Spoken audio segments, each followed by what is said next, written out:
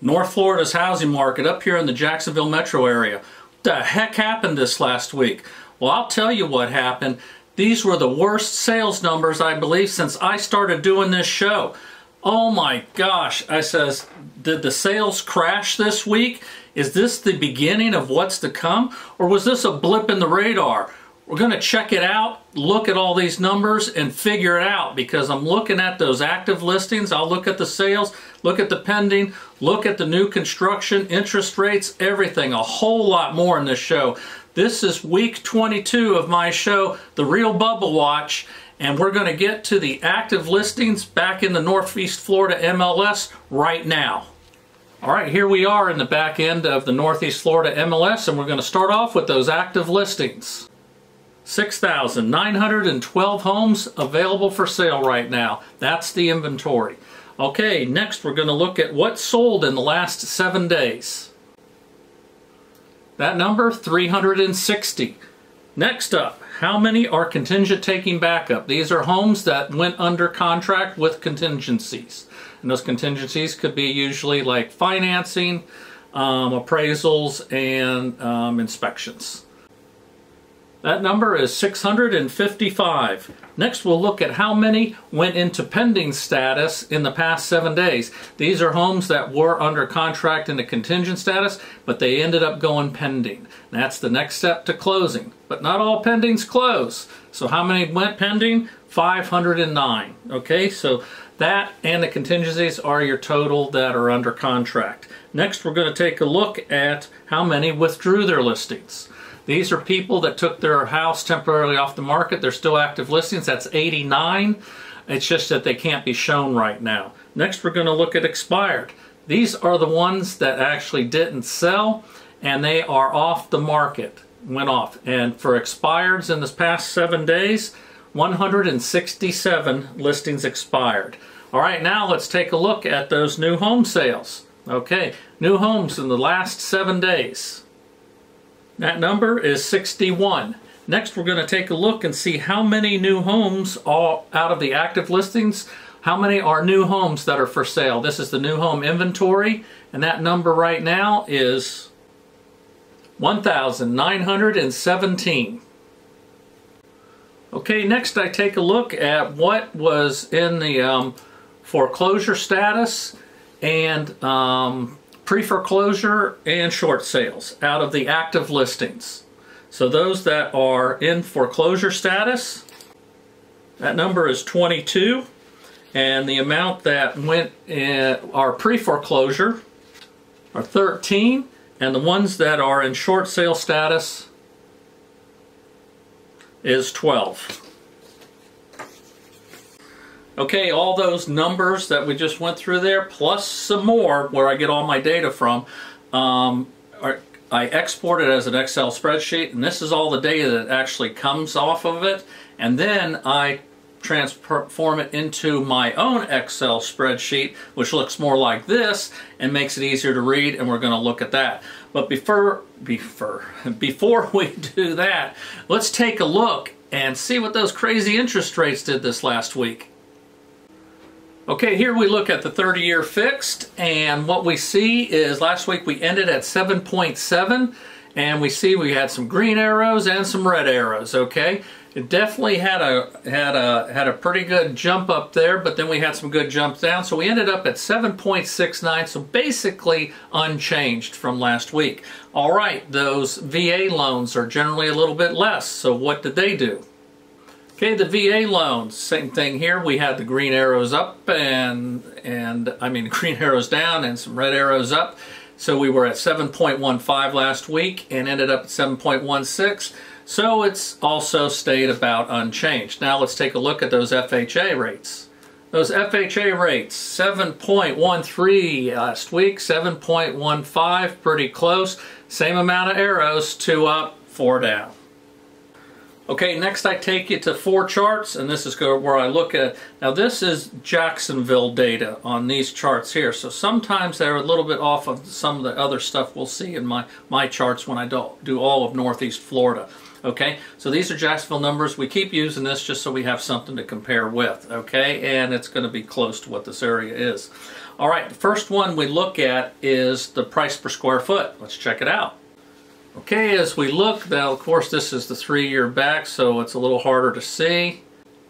Go to one year and you see where it flattened out there. Okay, we flattened out. Go to six months back and also it really sees it. So what have we got? Six weeks of flat. I don't think it's done that um, before.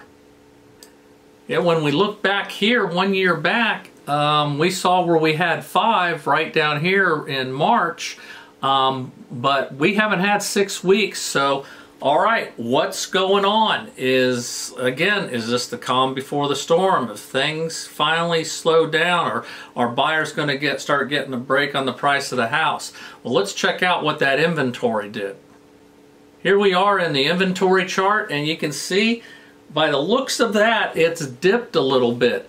But we're going to see now, remember these are Jacksonville numbers and we'll see how that number plays out when we look at all Northeast Florida. But looks like the inventory went down a little bit and that's not good because generally when that inventory pushes down, the other side, the price per square foot and the price of the houses go up. So speaking of price of houses, look, look at that median price at that median price, that has seemed to have flattened out and that goes along with our price per square foot. So that there has stayed about the same. I mean, it looks a little a little wiggly, um, but that's just because um, that the amount 348,000 and some change, you know, there may have been a little bit up or down close to 347 or 349.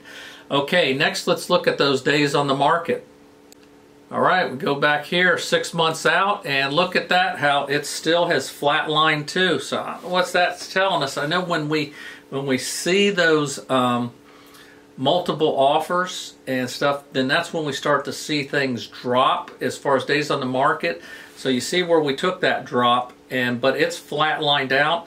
So that should tell me that, we'll look at the charts, but that should tell me that the um, um, selling for list price and selling for above list price would probably be close to what the last couple of weeks have been. All right, now you know, um, you know, I haven't said this in a while. We're talking about 2008, 2010, and now a lot of people said it's the same, it's worse.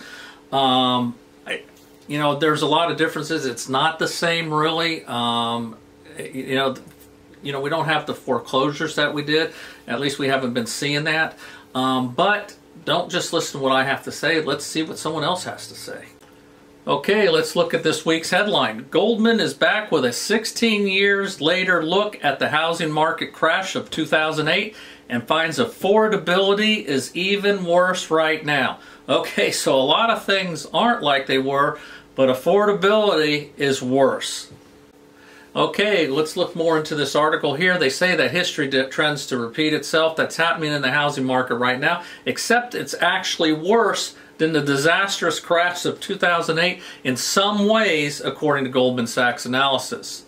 Okay, mortgage rates are at their highest levels in more than two decades, okay? We all know that. The average sale price in the U.S. hit nearly a half a million. Now they say 500,000, but 500,000 is a half a million according to the Census Bureau, okay? And that's nearly double the price of the homes at the time that the housing bubble burst in 2008. And then down here, this part says, while housing and more generally consumer fundamentals are in a much stronger position, now this is what I've been talking about, affordability for incremental buyers is worse than in the peak in 2006 before the crash.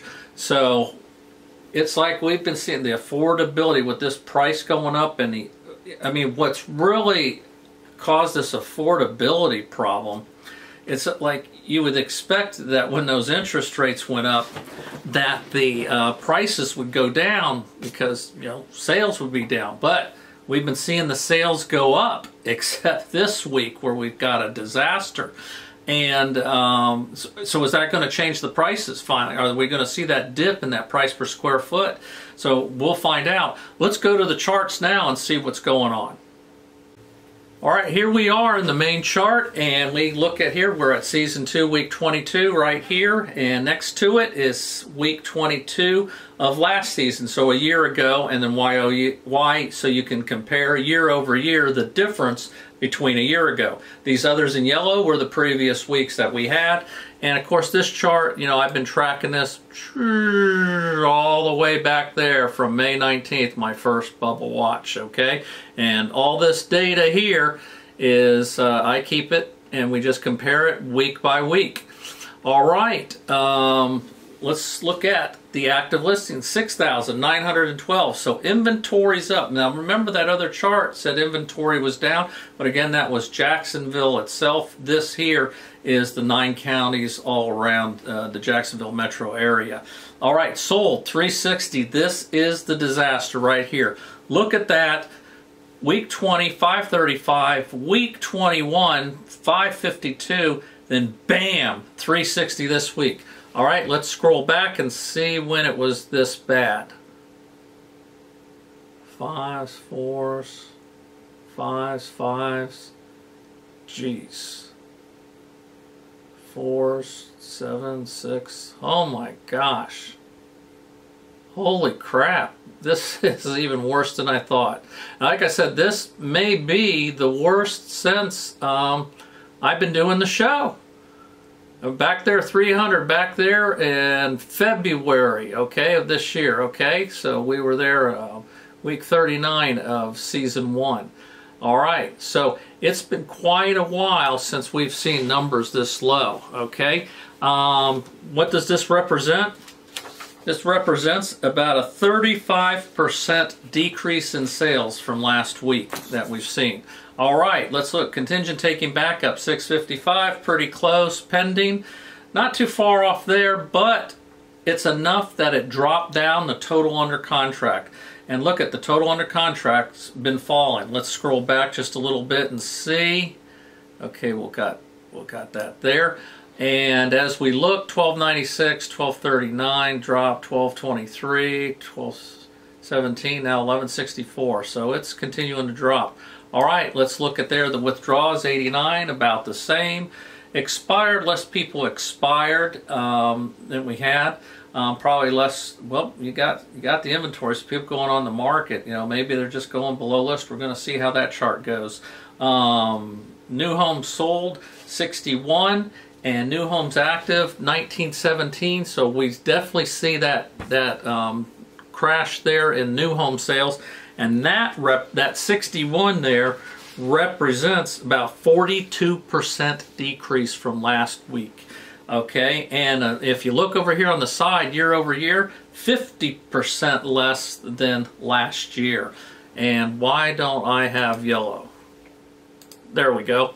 Okay, now what I started a few weeks ago, we see there in the orange, that is the percentage of homes sold that are new construction, and we've been seeing it gradually going up here. More, more of the homes sold are new construction.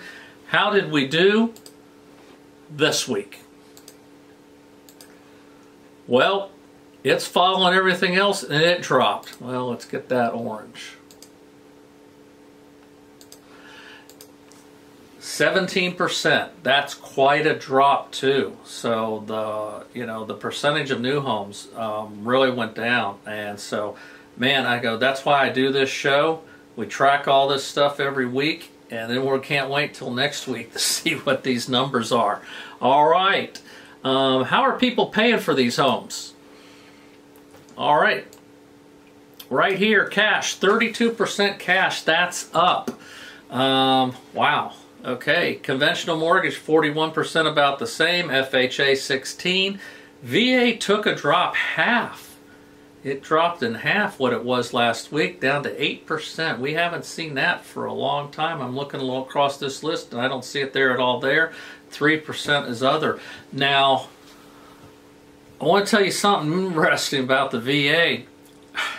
You know, I mean, I just looked at these numbers here tonight and to see how much the VA dropped, but there must have been something going on in other places other than just here in the Jacksonville metro um, because I started hearing ads on the radio. Maybe the ads were targeted for here, but ads advertising VA mortgages and telling the benefits and trying to get rid of a lot of misconceptions about VA mortgages, how they were explaining that.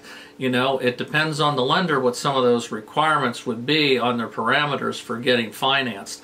All right, so the fact that I started hearing ads and then I saw this, well, it's not a coincidence, okay? All right, let's look at some more numbers. All right, the percentage of homes that sold for 500,000 and above, 29%, that number went up, okay? So that's the highest we've seen here in a while. Wow, okay? I'm surprised, kind of surprised to see that. Homes that sold under list, 67% about the same. Homes that sold at list, 17, close to it. Homes that sold above list, a little less. Well, we dropped a few points ab above list, but they went at list, went up. And remember I was saying, that now you'll get multiple offers because everyone's bidding way below list. So a lot of times that multiple offer will actually be at list price. And, uh, and that's what does it. And that corresponds with our days on the market chart that I was telling you about earlier. Okay, let's look at that foreclosure charts. Like I was saying, 22% are in foreclosure status, 13 in pre-foreclosure, short sales are 12. Total of 47. Again, the tsunami has not hit. All right, let's look at those new construction numbers. 48% sold under list, the same as last week, and I was thinking like, uh-oh, are we going to have the same numbers like we did last week? The week before were exact, but no, they didn't. All right, homes sold at list, 20%. That increased, and homes that sold at list decreased to 32. So here we go again, you know, with those uh, list price taking a little increase. Okay, the next chart is where I go by the nine counties up here in this Jacksonville metro area. And because people had requested it, that's why I show the sales for the counties and we can compare them with the previous weeks to see what the counties are doing. Okay, before we do that, I go into what is called MLS Advantage and we, um, we take a look at all these other MLS boards that are around us, that not just Northeast Florida like that I'm a member of that I do, but some of these cross-sell and stuff, so it gives us a better picture what's going on. Let's go into MLS Advantage and see what it did. Okay, we're here in MLS Advantage, and we're looking at those counties, Baker, Bradford, Clay, Duval, Flagler, Nassau, St. Johns, Union, and Putnam. So what we're going to do next is hit that search button, and see what that brings us, what numbers we got, total sales. Okay, 474 sales, okay? Okay, I'm going to take those, I'm going to put them in a chart so we look at those counties. Hey, you know, before we look at that chart there, I just want to say, if you like what you're seeing so far uh, in this video, and what I do weekly, give me a thumbs up. And if you want to be part of Bubble Watch Nation and get notified when these videos come out, then just subscribe and then hit the notifications. And you know what? I'm just a regular guy who happens to be a real estate agent up here in Northeast Florida.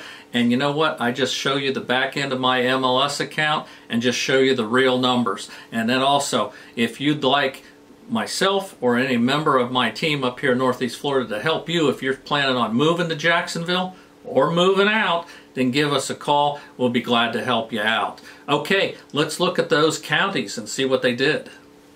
All right, here we are. Uh, Baker, one, went down a couple. Union, a goose egg like last week. Bradford, close to the same, down one there. Clay County, yeah, they dropped to 40. Nassau had 37. Duval took a big hit at 162. St. Johns also big hit. St. Johns very popular area. Um, they've got that uh, area Nocatee in there um, and uh, a lot of other places too over there by the coast. They're 143. Flagler, which is most mostly um, Palm Coast area, you got 69. They took a big hit. Putnam County dropped 19. There's our total 474. Last week it was 819. Holy crap! I mean that. I mean this. This is stunning. This is amazing, and you know this these charts here I got, and like, like I said, we go back to the main here, and you see I've got all the way back, all that data. And so that if that's if that's something you'd like, if you'd like this chart and also more data I got, I got a weekly newsletter that comes out every Tuesday, and in it you can download this chart. Uh, plus, you can also download the MLS sheets to the houses of the week, and it has a lot more information about homes that are selling and other events that are going on in this area for that week. All right, and all you got to do is just send a request to this email, or you can text me. All right, now let's go to question of the week. All right, this week's question is actually going to be kind of quick because it's actually an answer, more of an answer to a previous question we had the other week. Um, someone brought this to my attention. It was actually a pretty good idea that I hadn't been doing and hadn't thought about. Um, it was another realtor out west that um, I'm friends with and part of my referral network like for folks like sometimes we get people that want to you know want to you know buy or sell in another state that I'm not in and I have a network where I refer them to these other agents to help them out.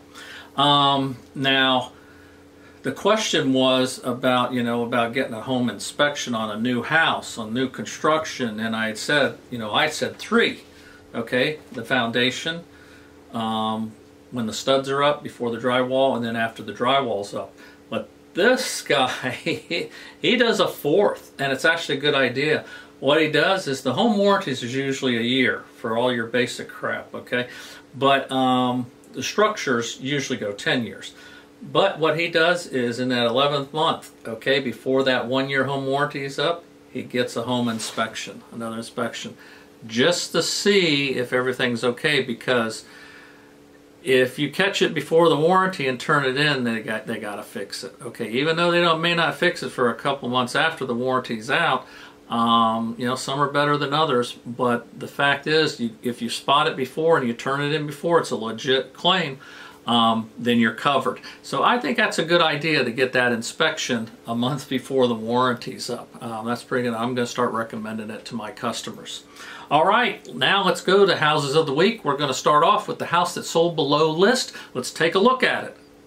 Okay, this house here sold well, was listed for 675000 on the market 110 days. During that 110 days, they dropped the price 100,000 to 575, okay? Well, what did they sell it for? Well, they got an offer and ended up selling it for 560,000, okay? 115,000 below list price. Not only that, on top of that, this house needed some repairs. yeah, that's right. Yeah, 560,000, you still got to fix stuff. All right, and they gave them a concession of $3,000 towards repair. All right, let's see, what did these people pay for this house? Okay, they bought the house, okay, July of 2020 for $415,000, okay? So let's put it into an appreciation calculator. Okay, here we're at the site goodcalculators.com and uh, let's see what the numbers come out to. All right, bought it 415 in July of 2020, sold it at, uh, now I, they sold at 560, but I take the 3,000 out for what they gave concessions, okay? And so we're at 557. That comes out to 9.61% over a little over three years. And we've seen quite a few of these homes that were bought in around 2020 and even some in 2021. They've sold them now, even though we've had uh, we had that dip last year in prices, but because of the prices going up this year, um, a lot of these people have recovered and getting 9.6 percent and just a couple of years time there or three years time this is actually pretty good in the environment we're in right now all right, let's take a look at that house that sold for above list. Okay, this house here listed at $295,000 was on the market for only three days. Now, they don't have any remarks saying that, you know, highest and best by this or that, but I bet you there was there was multiple offers and these people just decided to take it and run with it. Of course, they didn't lower the price any, kept it at 295 got an offer 308 sold it for 308,000 FHA financing no concessions. That was $13,000 above list. Now keep in mind also that it had to appraise and um, it, with the FHA they, you know, just like the VA, when they do an appraisal, if there's things that are wrong with the house, then they got to be fixed before the loan will be approved. A lot of times it can be windows, screens on mobile homes, it's skirting, you know, stuff like that. Um, so uh, you know, some sometimes electrical issues, you know, like outlets that maybe have the covers off or something. A lot of time, you know, wood rot, you know. So a lot of times the the uh, sellers will go ahead and fix that. Um, so um, but it's still appraised for that. Let's see what they paid for it. Okay, this house here, they bought it in 1998 and paid $88,000. Okay, $88,500, okay? All right, let's put that in an appreciation calculator. Okay, 88.5 sold at 308, ended up at almost 5% a year for 25 and a half years. All right, so they that's about what things are. Five to six percent is what's normal that you can expect. And of course, owning it for that long, they put money into it and repairs, but that's all part of owning a house. Okay, it's part of it. But you always used to get that five or six percent. Now keep in mind, you know, when they bought this in the 90s, they went through the disaster of 08 to 2010 and then they went through the disaster we had here in 2022, um, but then some recovery. So they were able to get through all that over the time and and still get you know get the get their return. You know they didn't take a loss. Now they did.